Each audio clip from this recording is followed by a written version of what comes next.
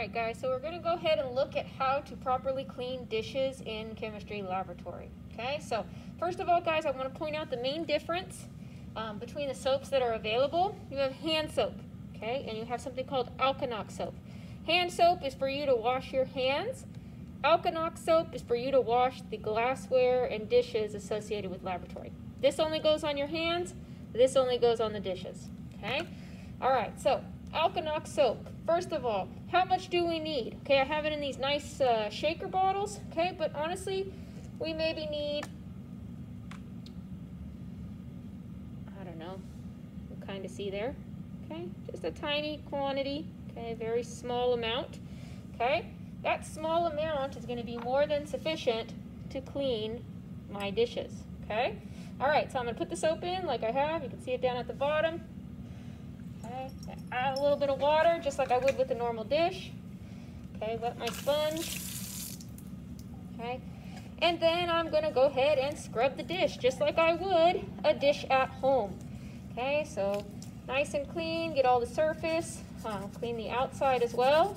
Being sure to be really careful to not drop it as it's gonna be slippery and slick. Okay, all right, so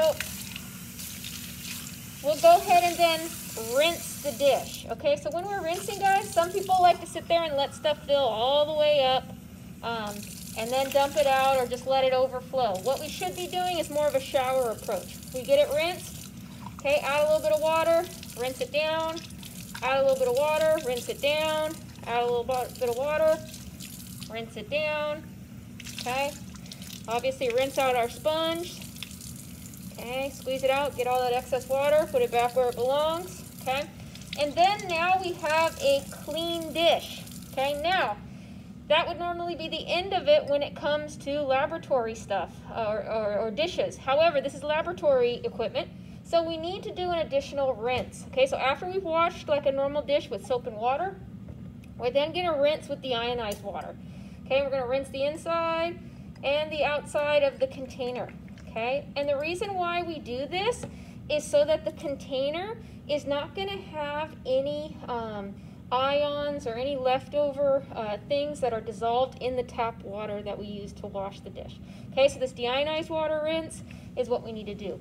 We're then going to take a paper towel, we're going to dry this up, right, and then we're going to give it back to, or put it back at the station that it belongs to. Okay, so that's how we would just wash dishes um, in general. So we need to dry with a paper towel. Okay, now, in terms of dealing with the washing of a uh, test tube. Okay, so once again, guys, we need a very, very small quantity. Okay, very small quantity of our soap. Okay, so I shouldn't see anybody shaking it all out. Okay, you then need to get a test tube brush. Okay, you're gonna wet the test tube just like you did with the other glassware. Okay, you stick the test tube br brush in and you gently scrub the inside. Okay, too forceful and you're gonna break the bottom of the test tube. Okay, so we need to just gently um, scrub the interior of the test tube, okay? I like to wipe down the outside as well, okay? And then we're going to, once again, rinse. Okay, a little bit of water, dump out. A little bit of water, dump out. A little bit of water, dump it out. A little bit of water, dump it out. And then we have a nice clean test tube, okay? Now, the thing about test tubes, um, uh, sorry, so once again, we're going to rinse it out just like uh, our dishes um, that we've talked about in the past. All right, so then what we're going to do, we're going to rinse with the ionized water. Okay, rinse the outside as well. Okay, and then we're going to dry the exterior of the test tube. Um, you can try to twist up some paper and dry the inside as best you can, but you're not going to get it 100%.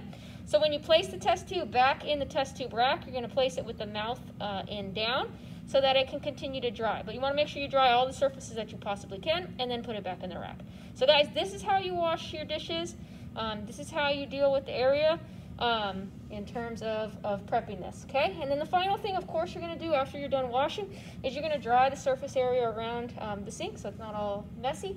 Uh, put the soap back, um, put the scrub brush back, put the test tube brush back, okay? And, and basically your station's all clean.